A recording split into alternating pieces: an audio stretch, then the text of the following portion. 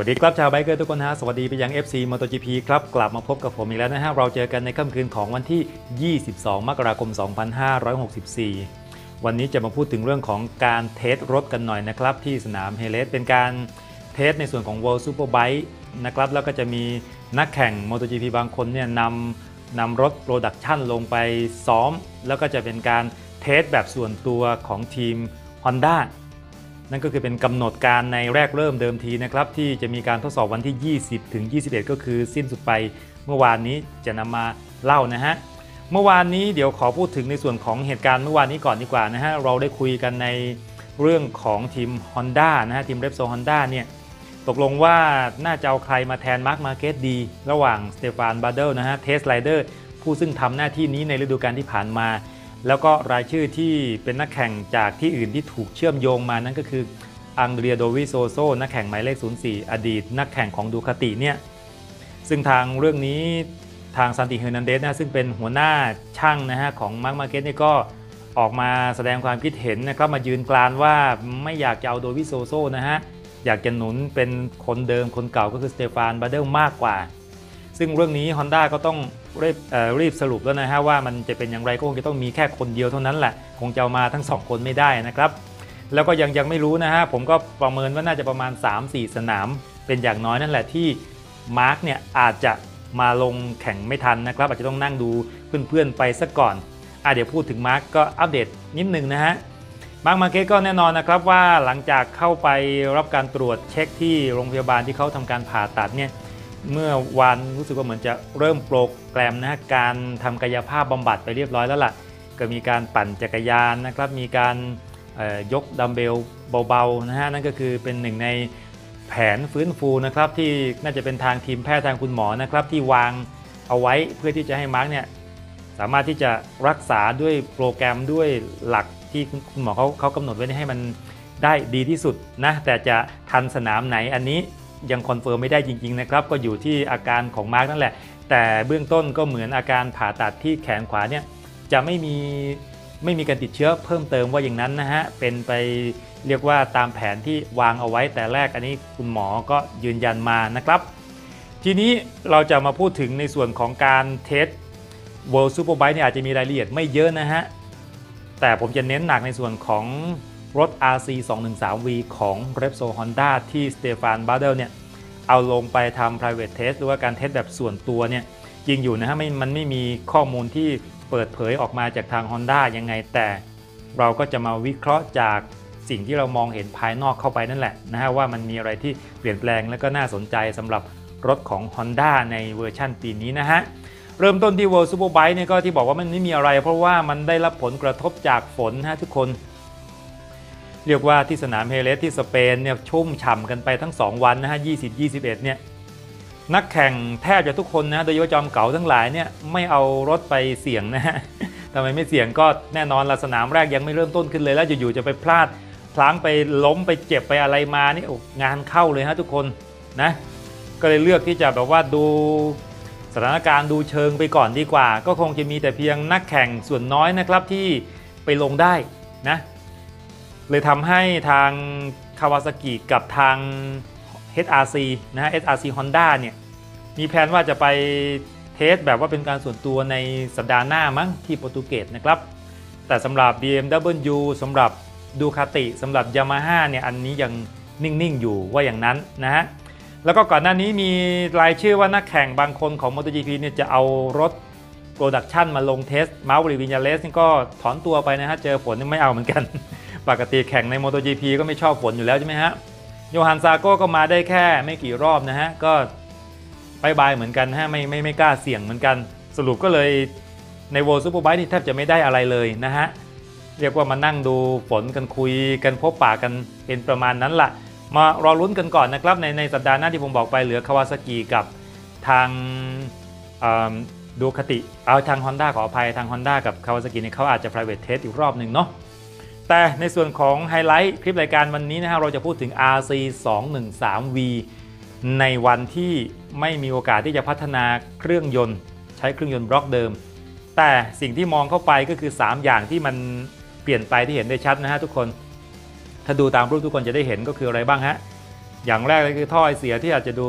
แปลกไปนิดนึงจนจนสังเกตว่ามันก็มันก็ไม่เหมือนเดิมอะนะมันอาจจะโผล่มายาวไปหรือเปล่า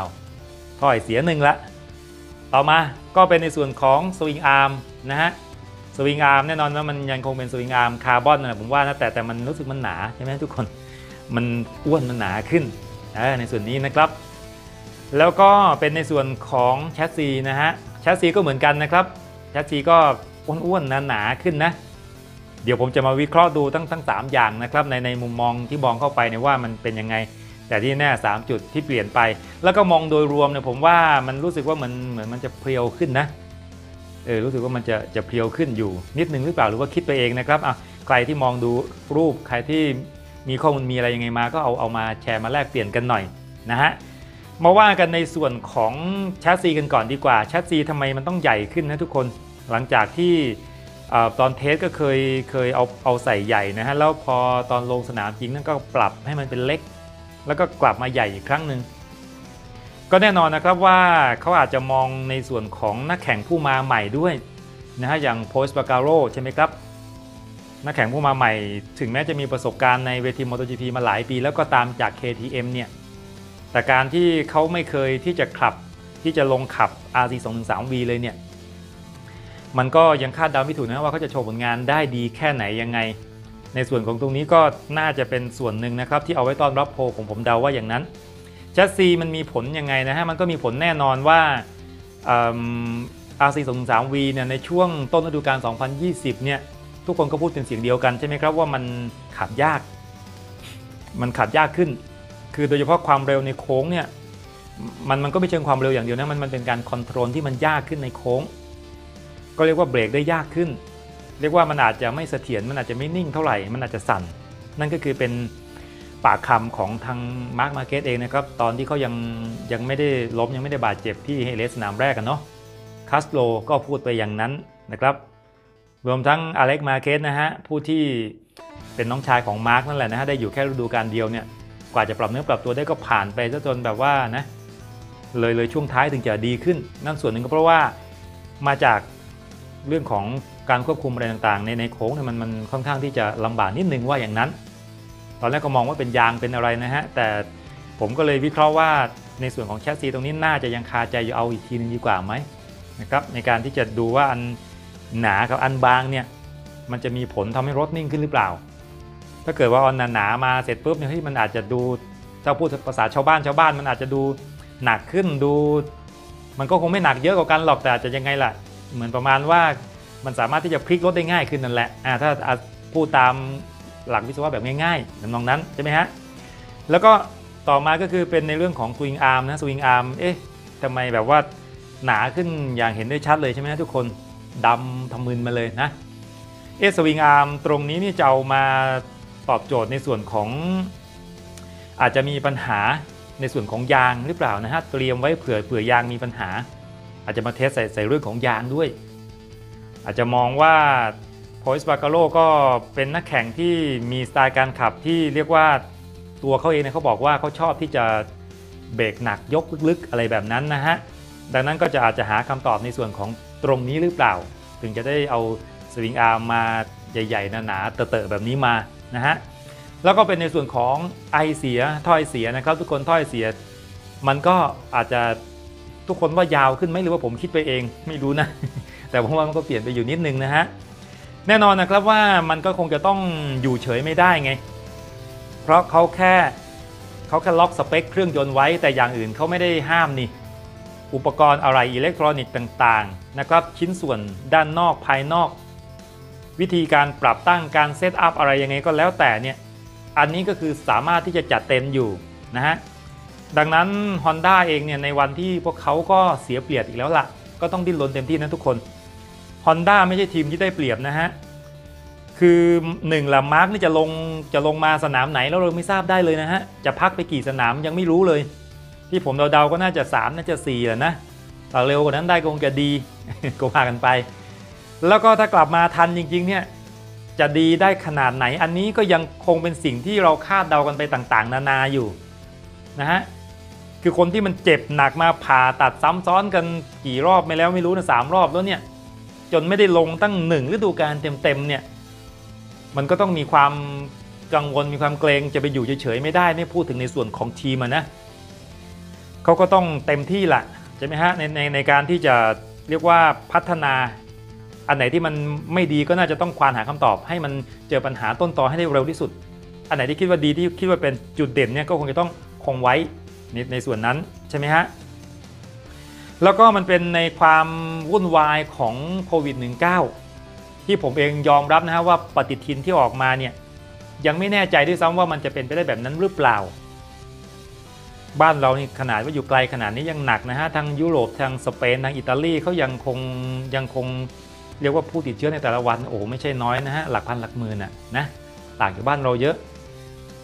ดังนั้นโอกาสที่อาจจะมีการแคนเซิลหรือเปล่า อาจจะมีการโยกย้ายสลับสับเปลี่ยนยังไงในสนามเนี่ย ผมว่ามันก็มีสิทธิ์เกิดขึ้นได้ทั้งนั้นแหละนะดังนั้นก็ทำใจร่วมๆไว้ในส่วนนี้ ทีนี้มาว่ากันถึง Honda เนี่ยด้วยความที่เจออะไรต่างๆ ที่ผมเล่าให้ไล่ฟังทั้งหมดเนี่ยมันก็ต้องต้องปรับต้องเตรียมเนื้อเตรียมตัวให้ดีที่สุดนั่นแหละนะฮะก็คือการที่ไม่อยู่นิ่งไม่อยู่เฉยๆนั่นแหละเป็นสิ่งที่แต่ละคนแต่ละทีมจะต้องทำซึ่งควรจะทำนั่นแหละ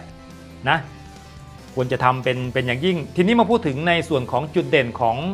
RC 2 1 3 V นะครับใน character เครื่องยนต์ปีที่ผ่านมาเนี่ยทุกคนว่าอะไรที่มันยังเด่นอยู่ฮะผมว่าพละกำลังเครื่องยนต์แน่นอนนะครับพวกเขายังทำได้ดีนะพวกเขายังทำได้ดีอยู่ ยังคงไม่ได้ว่าหนีห่างจากมาตรฐานเดิมที่เคยทำได้ ดังนั้นในตรงนี้หายห่วงนะครับอ่าพละกำลังไม่ว่าจะเป็นรอบต้นออกจากโค้ง รอบปลายหลาย ๆ ทางตรงเนี่ยอันนี้ น่าจะไว้ใจได้อยู่ แต่สิ่งที่อาจจะทำให้นักแข่งเนี่ยไม่สามารถที่จะไปไปได้คล่องตัวนั่นก็คือในส่วนของโค้งที่อาจมันอาจจะคอนโทรลได้ไม่ดี ในส่วนของตรงนี้มันก็อาจจะเป็นในรูปแบบของสไตล์การขับของนักแข่งนะอย่างนาคากามิเนี่ยบทจะดีหรือว่าบทจะไปไปง่าย ๆ เลยเนี่ยก็มี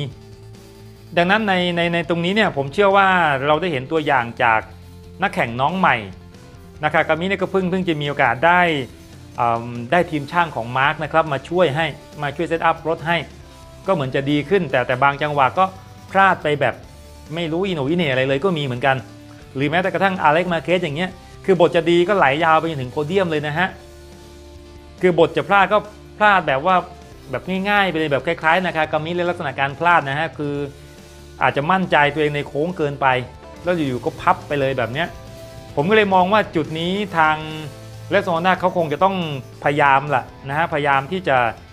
แก้ปัญหาในโค้ง ว่าจะทำยังไงถึงให้นักแข่งไปได้เร็วที่สุดทำยังไงถึงให้นักแข่งเนี่ยควบคุมคอนโทรลรถได้คล่องมือมากที่สุด นั่นมันอาจจะนำมาสู่เขาเรียกว่าเป็นแชสซีตัวใหม่ที่ที่เราเราคุยกันต้นคลิปไป ใช่ไหมฮะแชสซีตัวใหม่อะก็น่าสนใจนะครับว่าจะเป็นยังไงหลายคนถามว่าทำไมมันมีรายละเอียดน้อยจังครับคุณปุ้ย มันเป็น private test นะทุกคน เขาก็ไม่เปิดเผยนะฮะ ไม่เปิดเผยให้กับทางแหล่งข่าวภายนอกได้รับทราบอยู่แล้ว ในในส่วนของนั้นก็คงต้องรอทีเดียวนู่นแหละนะ ถ้ามันไม่เลื่อนนะครับ เดี๋ยวผมขอย้ำนะ มันจะมีการเทสอีกรอบนึงเนี่ยในในวันที่ 5 นะครับ วันที่ 5 เดือนมีนาคม ที่สนามโลเซลกาตาร์คือ 3-4นี่เตรียมงาน วันที่ 5 จะเป็นการ test ของ test rider ของแต่ละทีม แน่นอนว่าสเตฟานบราเดิลเนี่ยได้ลงอยู่แล้ว แล้วก็เป็นการ test โดย rookie หน้าใหม่ 3 คนก็คือบาสเตียนินี่ลูก้ามารินี่แล้วก็ฮอเฮมาตินเนี่ยสามคนจะได้ลงในวันที่ 5 แล้วก็วันที่ 6 วันที่ 7เนี่ยถึงจะเป็นได้ได้ลงทั้งหมด 6 7เนี่ยจะจะได้เจอทั้งหมดเลยนะฮะทั้งนักแข่งตัวจริงด้วย เราก็อาจจะได้เห็นโพล เอสปากาโรมาลงในในวันนั้นนะหกเจ็ดถ้าไม่เลื่อนไม่ cancel นะครับก็ขอภาวนาอย่าเลยนะอย่าให้เลื่อนให้อะไรออกไปเลย ถึงคราวนั้นแหละเราจะได้ทราบได้รู้กันสักทีหนึ่งนะครับว่า RC 213V ในปีนี้นะฮะเวอร์ชั่นเครื่องยนต์เดิมปี 2020 แต่มีการอัปเกรดอุปกรณ์ที่เราได้เห็นด้วยตาเนี่ยก็คือในส่วนของท่อเสีย chassis swing arm เนี่ยสามอย่าง แต่ผมเข้าใจว่าระบบอิเล็กทรอนิกส์อะไรต่างๆ มันก็ต้องมีการอัปเกรดอยู่แล้วล่ะนะแต่สิ่งเหล่านี้เรามองด้วยตาไม่เห็นไง โอเค ทุกคนวันนี้ก็ลากันไปก่อนนะครับ อย่าลืมไปติดตามผมอีกช่องหนึ่งด้วยนะ ช่อง F1 Thailand อันนั้นก็จะพูดถึงในส่วนของการแข่งฟอร์มูล่าวัน บางคนบางท่านบอกว่าทำไมคุณปุ้ยไม่ทำรายการนั้นรายการนี้ขออภัยนะครับผมจัดรายการอยู่คนเดียวนะครับ ไม่มีเวลาไม่มีโอกาสพอที่จะไปทำหลาย ๆ อย่าง ถ้าผมทำหลายอย่างแล้วผมจะได้มาแค่แบบนิดๆหน่อยๆมาเนี่ยผมผมเลยไม่อยากจะทำตรงนั้นนะแต่ F1 กับ MotoGP ตอนนี้เนี่ยผมดูแบบเต็มตัวนะฮะ F1 เนี่ยผมก็กลับมากลับมาดูแบบเต็มตัวเรียบร้อยแล้ว ก็เลยขออนุญาตทำแค่ 2 อย่าง เท่านั้นก็คงไม่ว่ากันนะครับสำหรับรายการอื่นเนาะวันนี้ลาไปก่อนสวัสดีครับ